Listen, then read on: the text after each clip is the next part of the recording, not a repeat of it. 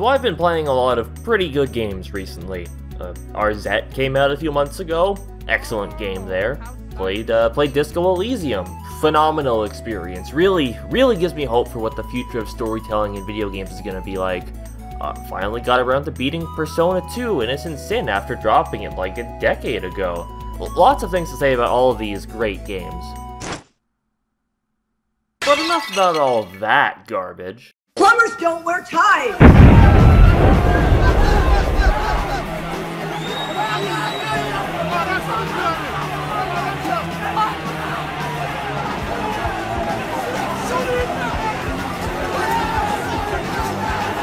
You know, perhaps something can be worked out after all.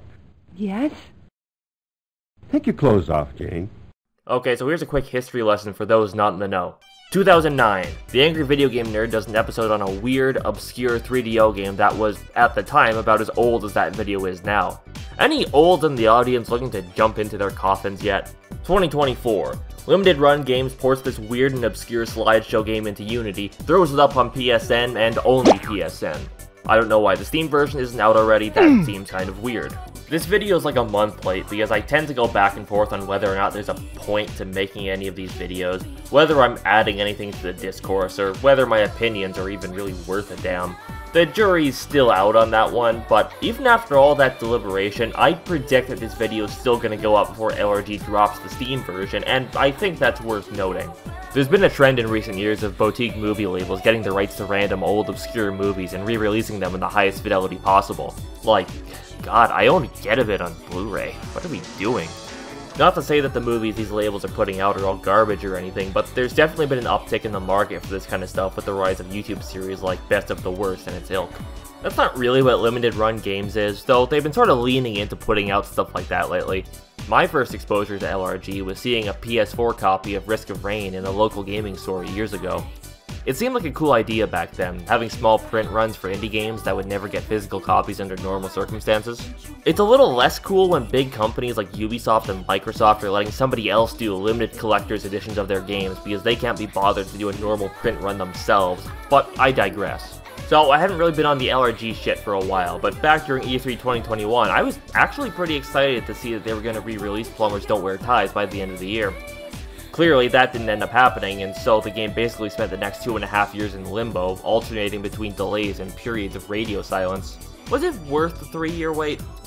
No, but I knew what I was getting myself into here, so I only have myself to blame. If you've seen the AVGN episode, which you almost certainly have, that's the only reason anybody knows about this game, then you probably know what Plumbers is already, but in case little Billy only just got his iPad yesterday, Plumbers is a weird pseudo FMV interactive romantic comedy where you've got to pick the correct story options to get these two characters, John and Jane, together. The plot quickly spirals out of control, this guy Thresher becomes a sex pervert, narrators get their asses beat on camera, it doesn't really matter all that much. The gameplay really only goes as far as you watching the still images playing out and making selections to see where the story goes from there. It's not really that crazy. In essence, it's basically a visual novel without text, which is something that LRG definitely tried to capitalize on in their new promotional art. I feel like trying to explain all the weird shit that happens in this game is kind of a meaningless endeavor. The old AVGN video already goes over pretty much everything you'd want to talk about, though I do find that that video is somewhat misleading. James Rolfe only showed off one route in that video, so for years I kind of assumed there was more game in there, more routes that lead into different stories, but this isn't actually the case. The whole storyline where Thresher tries to get Jane to strip for him, then chases her around, that's the only actual route in the game. Any choice you pick that doesn't lead into that story gets you dinged by the narrator, then bounced back to the last menu you left off at. This is a very odd decision, considering the option that leads into this storyline has a voice clip letting you know that you've got to be 18 if you want to pick it. Note, you must be 18 or over to take a look at this decision. You want to finish this game, little Billy? Sorry, kid, that's a privilege reserved for us adults. What an honor. The game is duct taped together by one joke, that every choice you pick is wrong, and the narrator yells at you about it for 20 minutes. Now see how your sick curiosity led Jane into this mess? What kind of perverted monster are you? You filthy, degenerate ape man! How could you pick such vile story routes? Never in my years on this earth, never in the foul recesses of Bible Black and its ilk have I ever seen such putrid choices. So then he dings you for points and tells you that your lack of game is a skill issue. Kinda gives off Grandpa doesn't know what a video game is energy to me. Literally the only joke I found funny in the game is when you pick the option where Jane actually gets the job and Thresher's dialogue makes it very clear that this isn't the intended story development. Then it is real. I got the job, Mr. Thresher. I mean, Mark, how can I ever thank you? Please, don't worry about thanking me. I just want us to work as closely together as the dear Lord will permit. See you at four. I think the only other thing of note that wasn't shown in the AVGN episode was the weird scene where John and Jane fumble their initial meeting and then keep imagining themselves as racial stereotypes. What do you got in mind, cowboy? Oh, maybe go to my place? You know, hang out, have a beer, get laid? You know. Get laid? You're gonna need some help in that department. What do you mean? Very odd. But that's really all there is to Plumbers Don't Wear Ties. There's maybe like two hours of content in the entire game. As far as weird DOS trash goes, it's honestly rather blase. Calling it the worst game of all time is a joke in and of itself. I've played worse garbage on this channel alone. So, when a definitive edition of a game like this is scheduled to drop back in 2021, gets delayed for two and a half years, and then still feels undercooked upon release, you've gotta wonder just what the fuck went wrong behind the scenes. I'm sure that COVID was an issue, I won't even argue against that, but they revealed this game in June 2021 and they expected to have it out within 6 months. I get the impression they expected a quick turnaround on the project only for the whole thing to come immediately flying off the rails. In the bonus content that makes up the definitive part of this release, one of the devs talks about how it took him like a whole year to upscale all the images in the game with AI. That kind of AI usage was still kind of in its infancy until like mid 2022 as far as I'm aware, so that seems like a bit of a late addition to the game, but I can't really say for sure. On top of that, they threw in the Plumb the Depths minigame, which is a little tongue-in-cheek dungeon crawler mode. This was, honestly, a bit of a disappointment for me. The trailers made this look a little more involved than it ended up being, but it's basically just a glorified menu for unlocking the bonus content. Most of said bonus content on offer here is interviews with LRG people, gaming historians, and oh hey, they even got the big man himself, James Rolfe, for one of these. To be honest though, I find most of this stuff to be pretty useless. The most substantive stuff in here is probably the interviews with Jean Besson, since she actually shares some personal anecdotes about the making of the game. But more so than that, they also include a 19 minute deep dive into the game from Good Bad Flicks, which was a YouTube video released six months before the game was.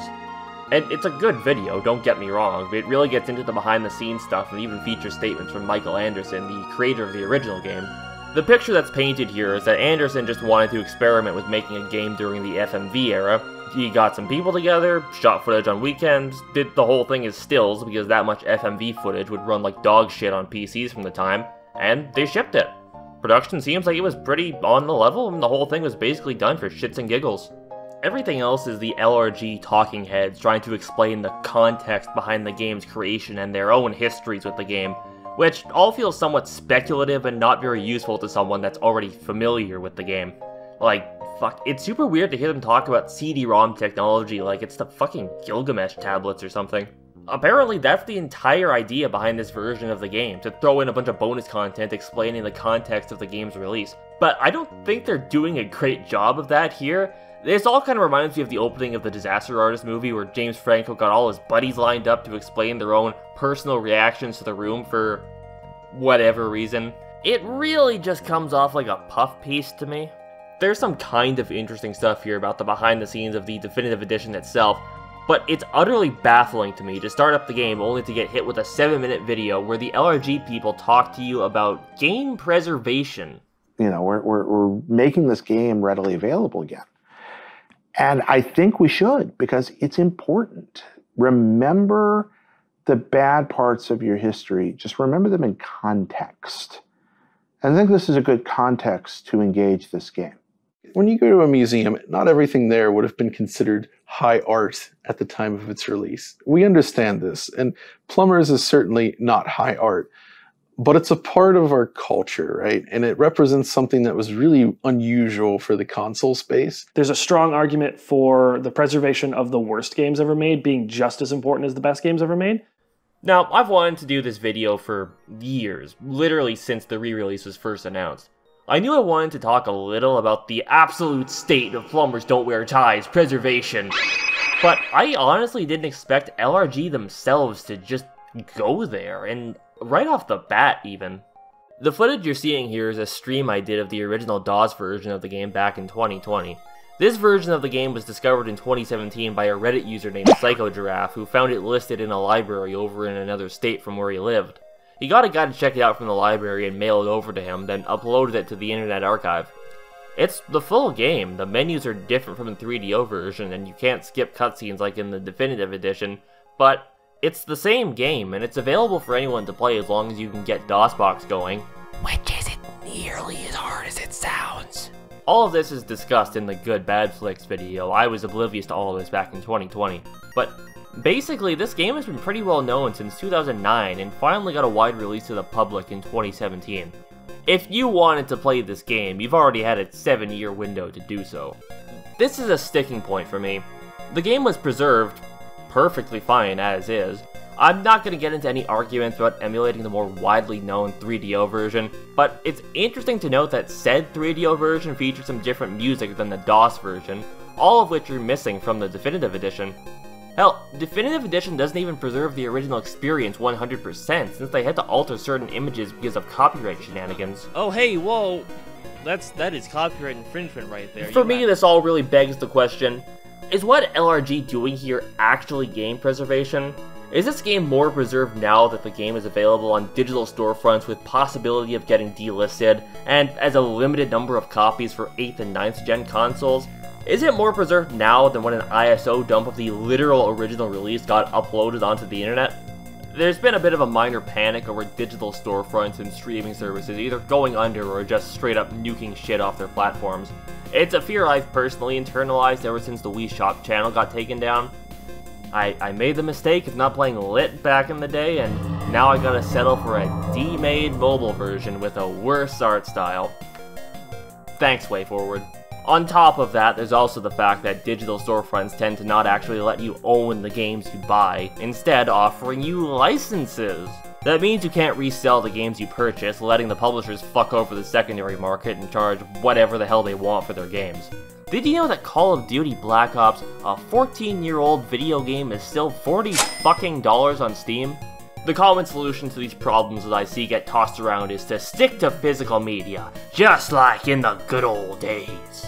I, I have always been a proponent of physical media. I love streaming. I am subscribed to streaming services, but you gotta keep, if there's something you want, I, I think buying it physically is still the only safe bet and it not just vanishing. I still enjoy current year gaming and all the recent games coming out, but we need a balance of physical and digital because I know damn well companies will take full advantage of having us all under their thumb, mm. and it can only spell disaster. LRG likes to take this narrative and run with it. They actually even use it.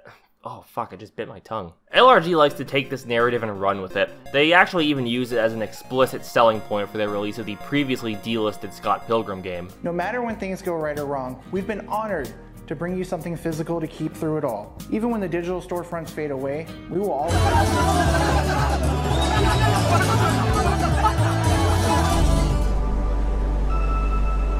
It was here! I knew it! Now, clearly they're taking the piss here, but there's absolutely an element of fear-mongering in their advertising. That certainly doesn't help our ancient lizard brains when this company is exclusively trying to sell you limited edition collector's items, but I digress. The thing about physical media is that it isn't always the most practical means of experiencing media. Hey kid, you wanna play Silent Hill 2? You got 200 bucks lying around for this out-of-print PS2 game? You can argue that this game is preserved because you can still buy physical copies, but the truth is that most people aren't going to have the opportunity to own one of these things. I shouldn't even own one of these things. I should be talking this fucking thing for beer and cigarettes right now. I think there's an argument to be made that owning games, hell, owning media in any capacity is a luxury in and of itself. The whole concept of ownership could probably be seen as emblematic of power dynamics in every aspect of our lives, but that's that's way beyond the scope of this fucking video. My name is Ozymandias, King of Kings. Look upon my Blu-ray collection, ye mighty, and despair. Konami putting out the dog shit Silent Hill HD collection while original copies of 2 continue to get eaten alive by scalpers is an abject failure of game preservation, sure, but the only obligations of Konami and companies like them is to make their shareholders happy by making a shit ton of money off the products they put out. LRG falls outside that metric as far as I'm aware. They're privately traded, so I guess they can just do whatever they want, but their primary purpose is still to sell products. Hey, so I didn't really know where to put this into the script, but even though this video is like super inflammatory towards LRG, it should be noted that they're the ones that put out Arzette, the game I championed right at the beginning of this. I uh, I have no further comment. Liking video games is I think the unfortunate truth is that it isn't really these companies' responsibility to preserve art. It it isn't really anybody's responsibility, really, not even their creators. I don't think you can say this definitive edition exists solely for the sake of preservation. At most, it's a product that exists for the goof, the jape, for internet funny men like me to feed into the gaping maw of the content meat grinder and bolster a hype cycle. The thing is, the context this game exists in is shifted from being a weird little experiment in game dev to a mysterious and baffling retro game, and nowadays to a nostalgic internet equivalent of someone who's famous for being on a Jerry Springer episode.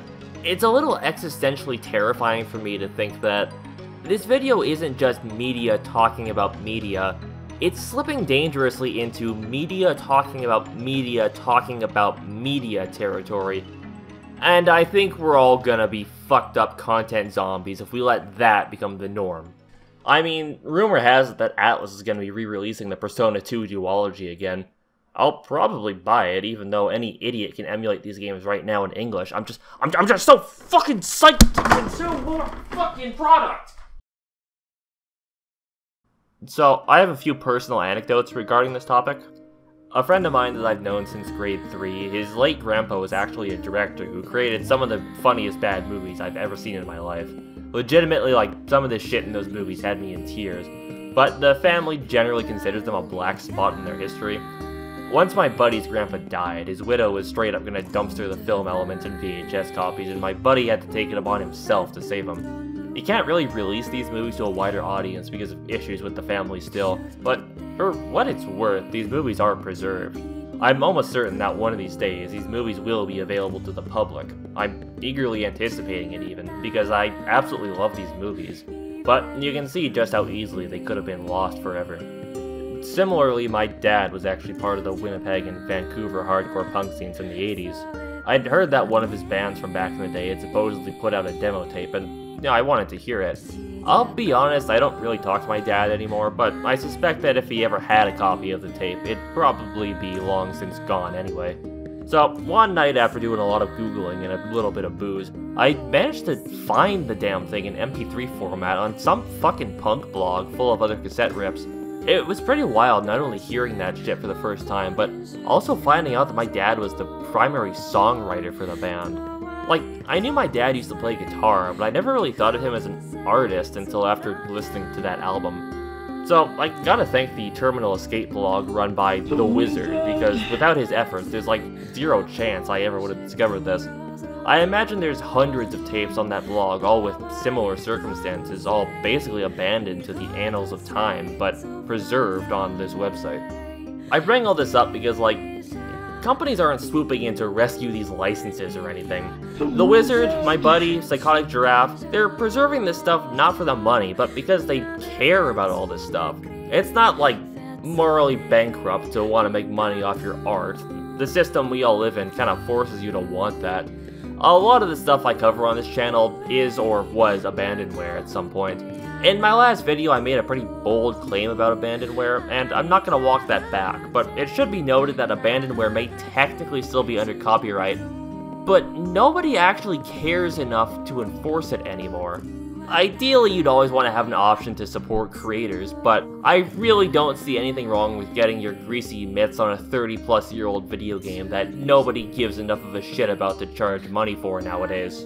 So, when a game that is, for all intents and purposes, abandonware, is pulled out of limbo and offered back to the public as a product, I don't know, it just kinda makes my fucking skin crawl. Like, fuck, these guys are literally sequel baiting in their bonus interview footage. But, you know, if this is successful, I would love to be able to look into doing more with it, you know? Uh, if there ends up being demand for a sequel, a plumber still don't wear ties. This game did not need to happen. I guess the upside here is that Plumbers Don't Wear Ties will absolutely reach a new audience. I mean, hell, the first video I ever did in this channel was on Harvester, which is one of my favorite games, and that's one I never would have known about if it hadn't been for the Nightdive re-release back in 2014.